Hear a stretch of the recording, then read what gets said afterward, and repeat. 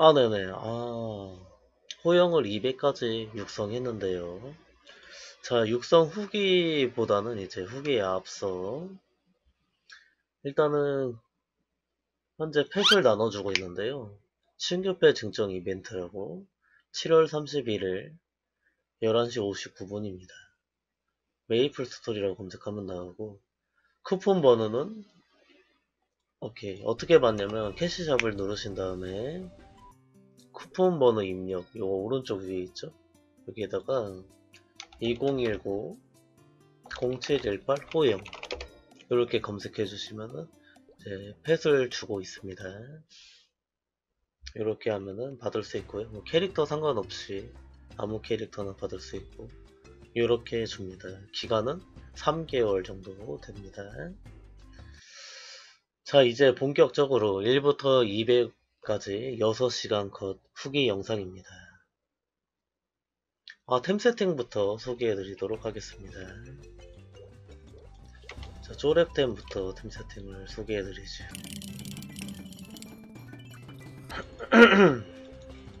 자 반지는 연금술사의 반지.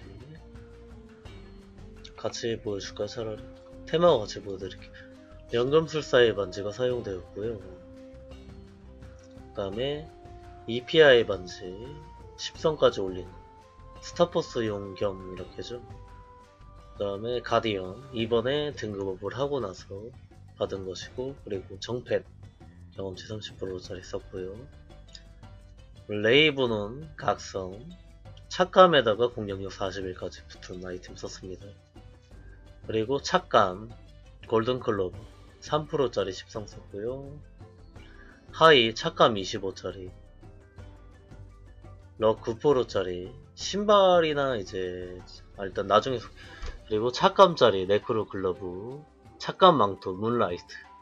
그리고 착감 전체적으로 스- 퍼센트가 높진 않아요. 한 6% 정도 생각하시면 될 것 같아요. 그죠?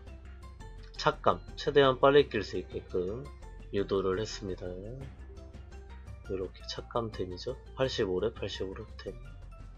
모자도 착감해가지고 130대에 꼈고요 데아시도스도 착감해서 105렙대 끼고요. 그리고 블랙메탈 숄더 이렇게 보조 무기까지.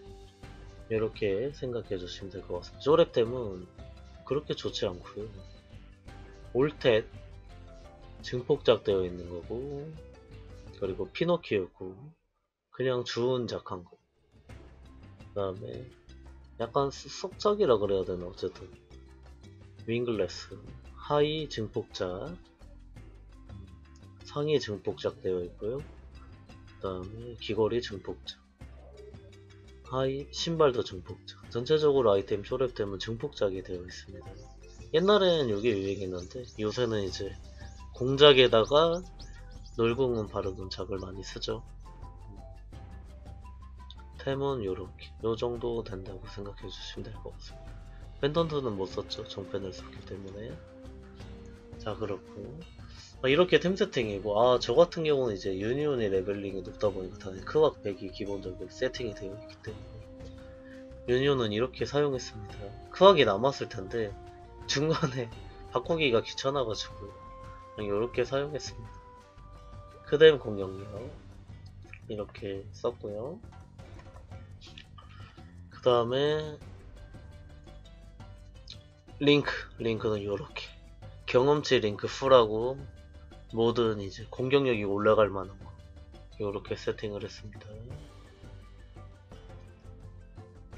음, 여기서 스킬 얘기하는 김에 스킬 얘기를 드리자면은 어, 70레벨 아니 60레벨 3차를 하고 나서 득의를 꼭 하나를 먼저 찍고 나서 다른 거를 찍어주시는 게 좋을 것 같습니다. 다, 뭐, 데미지에 따라 다르지만은, 이걸 찍었을 때 데미지가 확실히 많이 올라가기 때문에, 득의하고, 4차 찍으셨을 때 득도, 요거를 찍어주시는 게 좋을 것 같습니다. 그리고 hyper는 안 찍었는데,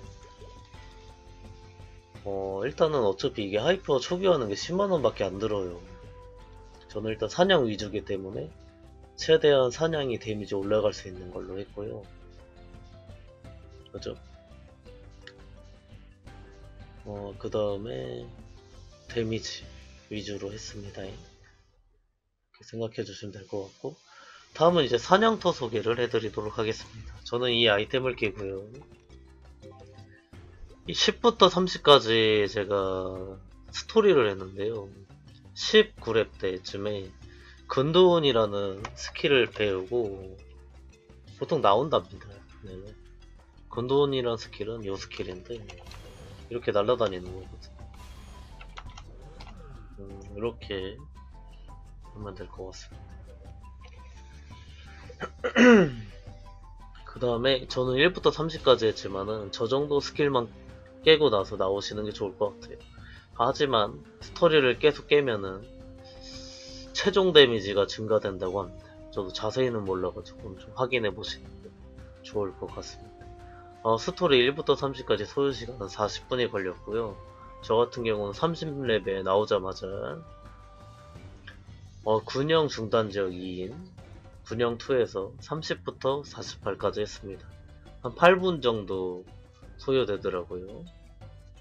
그 다음에 슬리피우드 여기서 30, 48에서 아 30, 48에서 59까지 48에서 59까지 조용한 습지에서 한 8분 정도 소요됐고요. 그 다음에 갱도4 갱도4에서 59에서 69까지 한 12분 정도 걸리더라고요. 아, 여기는 텔레포트가 필요합니다. 참고해 주시면 좋을 것 같고 그 다음에 다음 사냥터는 우리 C2 하면은 옆에 관출해서 69에서 80까지 했습니다. 7분 정도 걸리더라고요. 그 다음에 80이 됐죠. 그때 바로 일어나서 리프레를 갔습니다. 하늘중지 2에서 했고요. 80부터 100까지 10분 정도 소요됐습니다. 10분 정도 걸렸는데 거의 한 3킬, 4킬 막 이렇게 해가지고 했는데 10분 걸리더라고.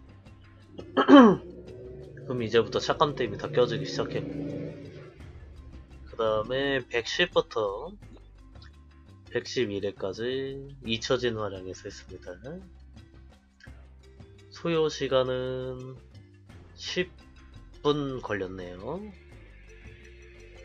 그 다음에 112부터 135까지 알라스 해광의 실현의 동굴 3에서 했습니다.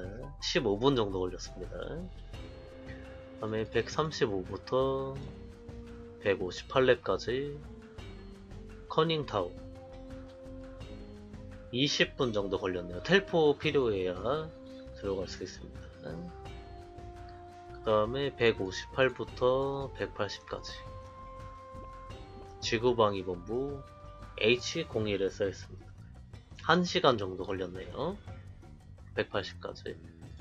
그리고 180부터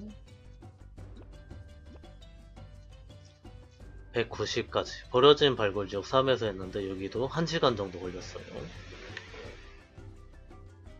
왜 여기서 했냐? 전 여기서 하려고 그랬는데 여기서 했던 이유는 버닝이 높아가지고 말 그대로 이제 조건에 따라 사냥터가 다 변경될 수 있다는 거죠. 그래서 여기서 8단계 해서 했었던 것 같습니다. 그 다음에 마지막 사냥터는 기계 무덤 바로 연맵이죠.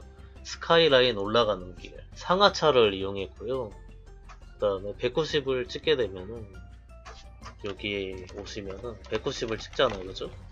얘한테 말을 거세요 다 샥샥샥 하고 얘한테 말을 거면은 경험치가 70% 정도 차면은 됩니다 그럼 190대 시작하자마자 경험치 70%가 되는 거죠 그리고 수월길에서는 1시간 10분 정도 걸렸습니다 네. 어, 자세한 것은 이제 실시간 제가 했던 사냥 방법이라든지 그런 거는 이제 아래 링크를 통해서 풀 영상이 되어 있으니 그것을 올리도록 하겠습니다. 음, 어, 총괄 평가 어, 먼 미래를 보면은 어, 아주 좋아요. 아주 좋습니다. 보스는 제가 안 해봐서 모르겠지만은 사냥만큼은 스킬이 워낙 광역 스킬도 많고요. 그리고 간단하게 이렇게 밀어내는 스킬이죠. 그죠? 직선 맵에서도 당연히 좋을 것이고 그리고 스킬을 못 쓰는데 사출기도 있거든요. 사출기도 있고 위로도 있고 그리고 설치기도 있고 어, 활용도에 따라 어마무시할 것 같습니다.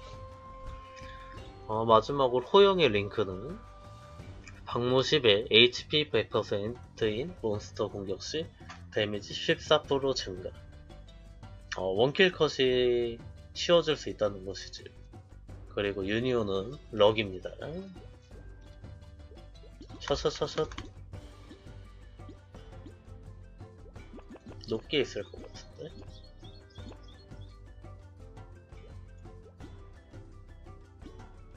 어딨냐? 찾는 것도 일이네.